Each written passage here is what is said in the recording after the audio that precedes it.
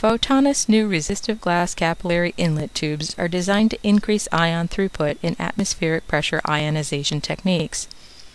Voltage applied across the nichrome electrodes at the end of the tube creates an electric field that attracts ions, drawing them into the tube more efficiently.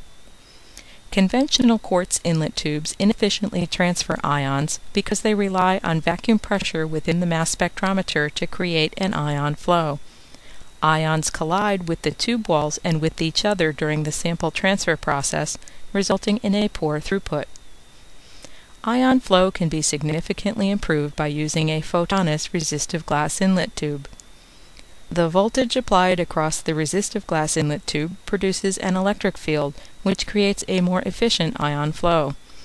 This repels ions away from the tube walls and draws them through the inlet tube faster, increasing both throughput and sample transfer.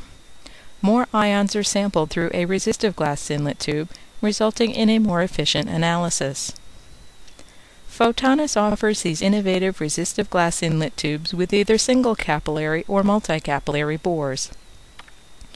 The simple replacement of a quartz inlet tube with a Photonis resistive glass inlet tube can provide up to a 100-fold increase in ion transfer efficiency. Multi-capillary resistive glass inlet tubes offer six channels of sample transfer, each of which acts as a single inlet tube, yet fits in the same footprint as a standard quartz tube.